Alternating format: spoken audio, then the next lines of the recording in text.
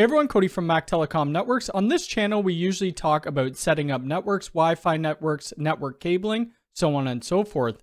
But we don't talk a lot about professional grade tools. NetAlly was kind enough to send me this Etherscope NXG to do some videos on, and that's what we're gonna do. This initial video will just be an overview of the Etherscope NXG, showing some of the settings, and then in another video, we'll do some heat map scans. Right off the hop, the Etherscope NXG isn't for home users. This is for professionals who do this every day, unless you have deep pockets. We take a look on Amazon.com, we could see the Etherscope NXG is $10,544 USD. I currently don't own one of these, but I am saving up to get one for my business as it's an amazing device. If you're new here, please hit the subscribe button. Make sure to hit the bell icon. If you'd like to hire me for network consulting, visit www.mactelecomnetworks.com. You'd find us on Instagram at Mac Telecom Networks. And if you'd like to support the channel, I have affiliate links, which I'll post in the description below. First, before we see what comes with the NetAlly Etherscope NXG, let's go through a couple of the key features. I'm also going to have some chapters down below, so if you want to skip parts, you can. Here are the key features with the NetAlly Etherscope NXG. We could install, test, verify, and troubleshoot technology upgrades. N-Base-T, 10 gigabit Bluetooth BLE and Wi-Fi 5 and Wi-Fi 6 networks with advanced Android-based troubleshooting apps and purpose-built test hardware. We could verify up to 10 gigabit Ethernet links, performance for critical servers, uplinks, and key end devices, and validate Wi-Fi network performance. It empowers technicians who may not have access to network management systems or other engineer-level tools to access and document complex network deployments and multiple VLANs and Wi-Fi SSIDs. We get to seamlessly consolidate and manage field test data and integrate network management systems via the complementary Link Live cloud service and we'll take a look at that in this video. And then we have faster and easier Wi-Fi site and Bluetooth surveys using their AirMapper site survey software. The NetAlly Etherscope NXG could automatically discover and instantly map your wired and Wi-Fi networks in Link Live, speeds troubleshooting, and keeps network documentation up to date and it exports to Visio. So just based on those features alone, you could already tell that this is a great device.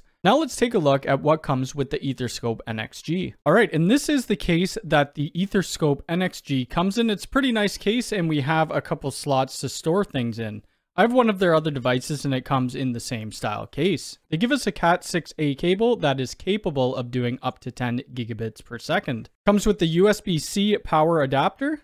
And then we have a bunch of different modules in this bag. So we have a Finisar module, and I believe this is an SFP Plus 10 gigabit fiber module. They give us a Cat6a RJ45 coupler, and then it comes with six of these WireView cable IDs. So these are remote wire cable testers. So what we would do, we would go into the rooms that we need to test, we would plug each one of these in, and then on our patch panel, we could easily identify these cables. We also have an external directional antenna, and this would be used for our Wi-Fi or our heat map scans. I'm not 100% sure if this comes with the kit. They do sell the kits in different varieties, so you'll have to make sure before buying. And of course, we have our Net NetAlly Etherscope NXG, and this is a very nice looking device. They give us a holder for the NXG, which is a hard case. On the front of our Etherscope, we have this touch display, which is fairly big. We have our power on. And then on the sides, we have these two buttons, which I'm not really sure what they are, but I believe they may be for volume, but we'll check into that after. On top, we have a LAN port, and then we have an SFP port. We have a USB, and then we have this pinout for our antenna. On the side, we have another RJ45 for Ethernet WMAP, and we have our USB-C as well as an SD slot. On the back, we have our speaker, and that's pretty much it that comes in the bag with the Etherscope NXG.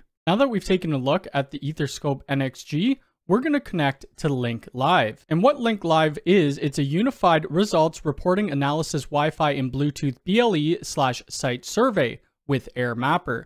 So any tests that we do, we could push it out to Link Live. One really cool feature with Link Live is we could remotely control our Etherscope NXG. And this is great if we have a technician in the field who isn't too tech savvy. We could remote in and do all the testing ourselves. So let's go ahead and remote into the Etherscope NXG. All we need to click is this remote button. And now it's establishing a secure connection.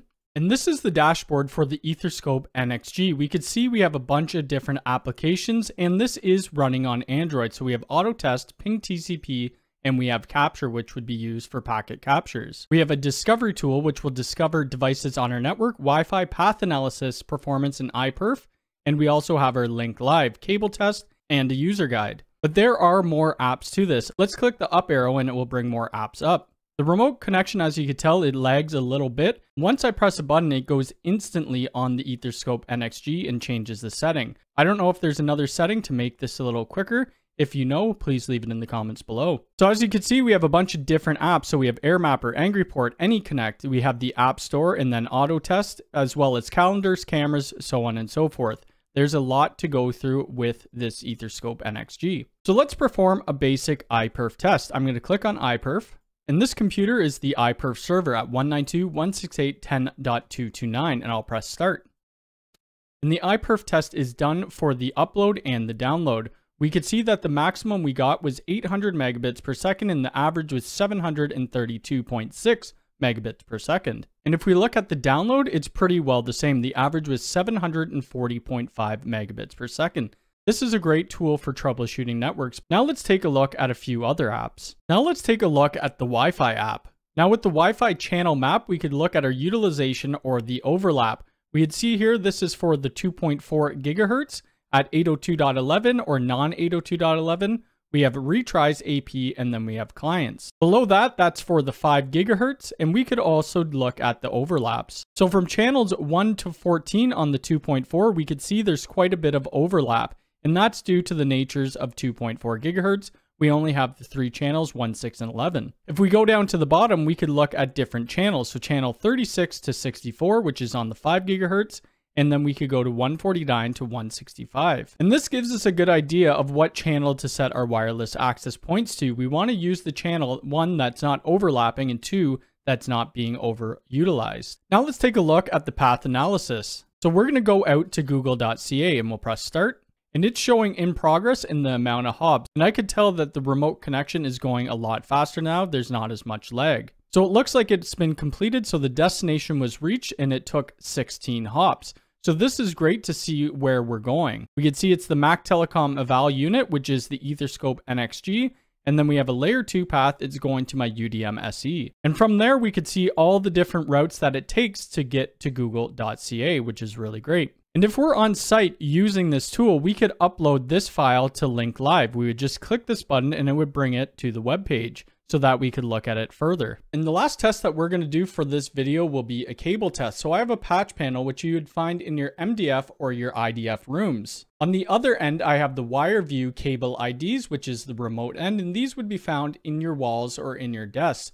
So let's go ahead and do some cable tests. Now we have the cable test app pulled up and we could see that we have no cable in it currently and it's telling us to use the port on the side. So I'm going to plug in this patch cable to it. Now the patch cable is plugged in, I'm going to plug the other end into the patch panel on number 4, and then we could start the test. Okay, and we could see that our pinout is good and that we're using remote end number 1. So this is a way, if you hadn't labeled your cables previously, to know which number it is on the patch panel. I'm going to move to another port on the patch panel. Now we're on data jack number 2 on the patch panel. Let's press start. And we can see that it's remote ID number two and the cable is 16 feet and the pinout is good. Now if we would want to see this report in Link Live, we would click the three dots and then we would click upload to Link Live. Below we could give it a file name, we could give it a comment, and then we could do it a job name. I'm just going to leave it at default and save to Link Live. Now we're in Link Live, we could see that we have the test result here and it's showing us the cable test data. Pairs 1, 2, 3, 6, 4, 5, and 7, and 8 are all good and you could print this off and give it to your client if they ask. Also down below, we could see a screenshot of the test results. There is more you could do with these test results, but I'll show you in another video as well as testing the fiber optic cable. So that's going to be it for the overview of the Etherscope NXG. In the next video, a lot more people will probably want to see this, and this is the Air Mapper, where we could do our Wi-Fi heat scans. If there's anything specific you'd like to see, please leave it down in the comments below. I'm really liking the Etherscope NXG, even though it is pricey, it's over $10,000 USD. Like I stated in the beginning, this is for professionals. So if you're doing Wi-Fi installs, everyday cabling installs, networking installs, this unit for the price is really good. If you like this video, hit the thumbs up button. If you're new here, please subscribe and hit the bell icon. All right, thanks.